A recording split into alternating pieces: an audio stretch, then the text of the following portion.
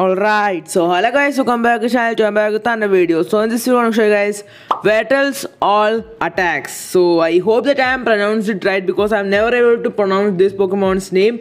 But anyway, today's goal is to reach 1.61k subscribers. So if you haven't subscribed, please subscribe. And yeah, now let's start.